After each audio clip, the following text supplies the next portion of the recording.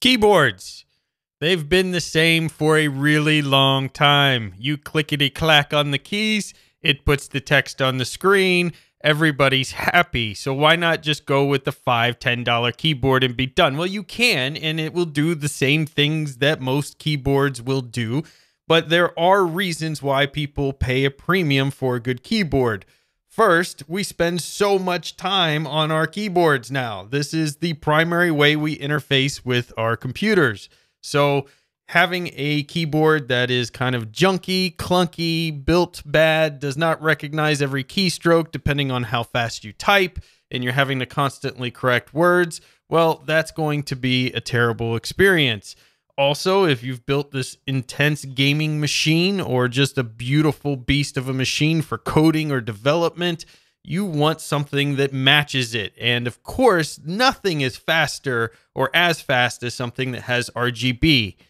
That's a complete lie. Uh, RGB does nothing for us in speed, but it can look pretty. And I think Das Keyboard here has actually found a very unique solution here to making a keyboard a little more exciting. Now, filming a keyboard is really difficult because you have a situation where you kind of have to keep it dark and the cameras, at least with my junky equipment for recording, can't quite pick up the keyboard uh, perfectly. So that's why we're showing the website here so you can actually see beautifully done pictures of the glow of the keyboard and RGB and those type of things. What we have here is the Das keyboard 5Q. Now, Das has been making great, fantastic professional keyboards for a very long time. I've had these keyboards in the past. I replaced one with a Corsair K70 mechanical keyboard, and I've been using that up to this point now that I have the 5Q. And what in- made me interested in the 5Q is they weren't trying to redesign the keyboard. And if you look at DistroTube, he has this new keyboard he's checking out, which is kind of split the keys and it's kind of a new way of typing. But then you've got to get used to the new way of typing and you've got to figure all that stuff out. And then if you switch to a laptop, you kind of got to switch back to your traditional form. And while all the keys kind of and, laptops and things can be a little bit offset, for the most part, you can within a few seconds get familiar with the standard keyboard. So I like that they kept it standard here, but give me something unique. And that is really the Das Keyboard Q software here that allows me to customize these keys in Linux because they have an open source API for their applets I love any company that supports the tux, so therefore they get the bucks. And so I can customize each key within Linux for certain programs, which we'll get into more in depth in a moment. But for instance, right up here is Weather app that's initiated on top of the keyboard, which is something really unique.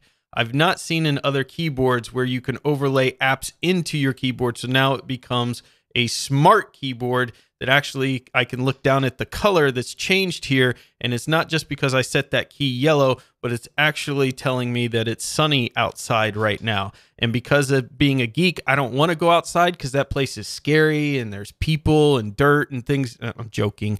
Um, but I can basically, since I spend a lot of time indoors, I can look at this keyboard and instantly know the weather. I can look at the keyboard and know if I have an email. If you utilize Gmail, I can know if my stocks have gone up. You can see in some of the demos on this screen here some of the different use cases, and they're basically taking these apps and overlaying them over certain keys so that they can see the functionality or, or take the functionality of the app and be able to get notified of what's going on. So the other thing is this Q key here. Now this also is a volume control. You can't see it, but as I'm moving this, the volume's uh, coming up over on my screen telling me it's lowering or hiring. You can see the icon down here at the bottom of my screen changing uh, as I'm changing the volume here, uh, moving this little scroll wheel. But it also works as a button.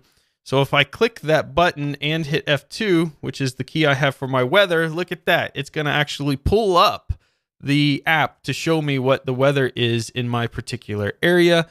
And that's pretty cool. So now, if you take this and you start thinking about GitHub implementations, and because it's open source, other apps that you could write against this, we have a really cool, unique solution to this keyboard. So now let's take a look at the software in depth within Linux and see some of the things that we can do. Okay, so now we're in the app itself, and there's a really cool program called Alien that allowed me to take this deb file and convert it to RPM, which I'm going to be doing a whole video on that because apparently all of you experienced Linux users have been out there for a while, like, oh yeah, Alien, I've known about it forever, but nobody thought to tell me. So I've just learned about Alien. It's so awesome because you could take deb files and convert them to RPM with basically a couple clicks of a button. And that's how I have the RPM available here. Now, there is an RPM package that Das Keyboard has released that is a community made package, but it did not work. So they really, at least for me in OpenSUSE, so they really need to um, maybe utilize Alien themselves and just convert it and put that package up there because the Alien version of the RPM, just converting the deb work perfectly. But this is the app. So this is native in Linux here, this application. And you can see that I've applied the weather to these three keys here, this application weather. And I have these other applications if I want to see GPU usage and get color coding based on the my usage for my GPU, how much memory is being used. I can apply that. If I want game deals, GitHub, Gmail, H2O reminders, all of these different RAM usage, Stack Overflow, Teamwork, Trello, Twitch, Workout, Zen, Monday.com. I can apply all of these here. And of course, you can create your own applets. Additionally, we have the ability to customize our color. So you see, I created my own DasGeek version, which has a lot of green. I know that's shocking. But for the gaming keys that I use, I have WASD here uh, set up so that it's easy for me to just look down and get my key, my um, fingers situated there. It was just something I was playing with. They have all these presets that I didn't create that come with the keyboard, like League of Legends, where it highlights again certain keys that you may utilize in that game. A Longhorn, which is pure orange. Photoshop, again, probably highlighting macro keys and things. And then I created a Vim where I took different categories of navigation and color coded them or removing words um, you know, and color coded them in the families. And I have not completed this yet, but color coded them in the families of different tasks that you would do within Vim. So I wanted to do this just to give you the show you the idea that you can go in here and basically if you're learning Vim or you've learned Vim but sometimes forget some of the keyboard shortcuts, you could color code things to the specific family of commands on your keyboard to make it easier for you to remember. You could customize everything from the pipe lighting that comes out on the side here, which is absolutely beautiful and very bright. We also have multiple bright settings. I think there's up to seven that's off. So we got one, two, and I know you can't see this very well, but three, four, five, six, seven, eight, nine, 10, 11, near, nearly 10 or 11 brightness settings here to um, decide how bright you want your RGB keys to be, uh, which is very, very useful as well. And as I switch these, you can see my keyboard automatically changes colors uh, the second that I click them. And then I can go in here and I can customize and set colors to blink, color cycle, breathe, anything that I want there, uh, which is very, very unique. So I can also select applications for this profile. So it can automatically use this profile based on a foreground running application. This is pretty cool. So automatic profile switcher, if I have a specific program and I want it to change with the program that I open, I could select that program, say the terminal, and my keyboard, as soon as the terminal is open, is going to switch into that Vim profile. All right, so we have selected console and user bin. Let's go back to our DasGeek profile here. Everything's turned green. Great.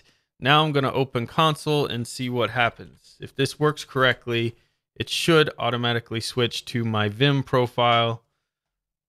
Let's find out. And it did. If you could see the keyboard here, uh, it doesn't show it over here because this is my main profile, but you could see switcher running and it has switched my keys to the Vim key shortcuts. You can see the HJKL here for navigation are highlighted. These are have changed here uh, just by opening that application. If we close it, I wonder if it automatically, and it does, you can see it's automatically going back to my main DasGeek uh, profile. So that is super cool that you can set by application. I learned this just now using this keyboard.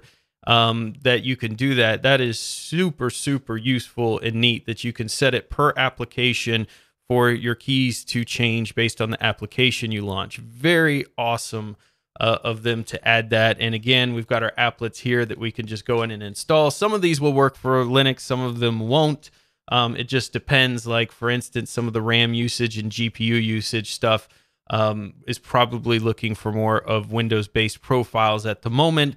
Uh, although, because it's open source API, you know anybody can go in there and write one for their specific hardware or take one of theirs and modify it and upload it for Linux. So I love anybody that supports Linux out of the box. This Das keyboard is awesome from the software side. Let's talk about the physical keyboard itself for a moment.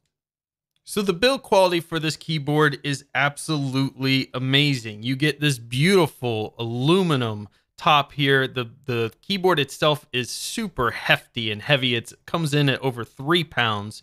You have a magnetic, magnetically snap on keyboard uh, wrist pad here that's just fantastic. So you, instead of having to take plastic clips like you do on the Corsair K70 I was using before and try to snap those in, this just magnetically snaps so you can easily take it off or not. This is a nice silicone uh, material here for it, so it feels very nice, although it does leave some fingerprints and smudges here that you don't get on this keyboard, and that's because of the way that they've painted this a flat black so you really don't notice any smudges or things on the keyboard like you have with a lot of other keyboards especially ones that have the glossy uh, plastic feel on them. So you get the gamma zulu um, keys here switches which are absolutely amazing. You get the rgb plus 45 times faster response with their key 0.4 milliseconds. You have the open api it comes with the keyboard, the palm rest, the keycap puller, and of course your documentation there. One thing I wish they would have added to this keyboard, and some of their models have this, is additional USB ports. Um, that would be very nice. The I guess the good thing about not having the additional USB ports is it only takes up one port on the back of your computer.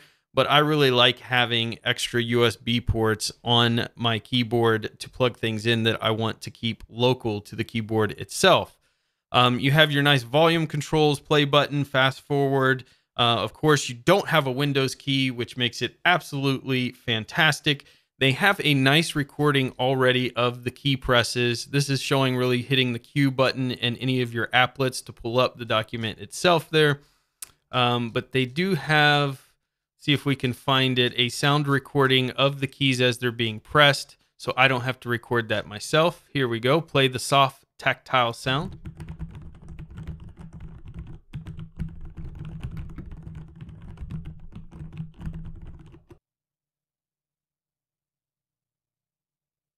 So this is really nice because in my case, having a really, I like the feedback and response of a lot of cherry switches and things like that from a typing standpoint. I love that instant feedback you get with those keys. However, one of the problems with those kind of keys is uh, if you're recording or doing any videos or anything, it's often very disruptive to the actual recording because it will pick up in say the podcast like destination linux if i'm typing a message or adding in additional information to a document. So i need i want that responsiveness but i also want it to be relatively quiet. And this keyboard gives me that perfectly with these gamma zulu mechanical key switches. They still give me that nice tactile feedback uh, but they also have a softness to the sound that um, allows me to be quiet when I need to be.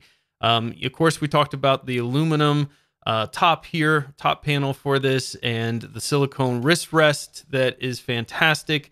Das keyboard's been along for a long around for a long time. Here are some of the specs with the gold cross point contacts on the keys themselves, the width, the height, and everything you get with this beautiful keyboard. Now, it does come in at a very expensive $249. I do personally think, as much as I like the keyboard, it's a tad overpriced for what you're getting. Um, it's not out of the realm of other keyboards that it's competing with, and frankly, it does a lot more than those other keyboards. So I get why they wanted to come in with a premium price. I got this used off eBay um, for I think around 89 to 100 bucks and uh, I don't remember which, but it was somewhere in between that range. So I didn't pay anywhere near that for it. So you can pick them up on the market in really good condition for a lot less money um, if you want to play with it. And uh, but if you want a brand new one, prepare to spend some cash on it. I think this would be more fairly priced based on other pricing of keyboards. I'm not saying keyboards should cost this much in general, but based on other keyboards out there, this should be probably within the 150 to 180 dollar range.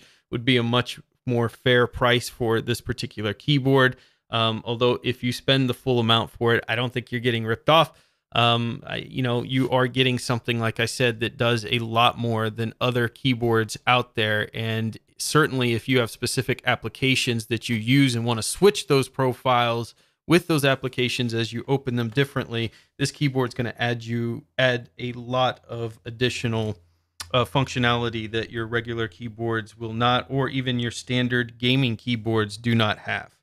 So this was a Kickstarter uh, fund because on the box it actually says funded by Kickstarter, 580% of their funding. So a lot of people wanted this, and it is here. And I love that it supports Linux there, right there with us. So very cool keyboard. Let me know in the comments what you think about this. Will you be checking? Uh, to see if you can get your hands on one or what is your favorite keyboard that you like to use. Obviously, Das Keyboard needs to sponsor this channel, DasGeek, because I mean, it's kind of like peanut butter and jelly. We're almost meant for each other, right? And as DasGeek, how can I not have Das Keyboard? It just has to be. It was meant to be. In any case, leave your comments below. And until next time, get out there and fill your brains. Don't get this far. Does not watch the video.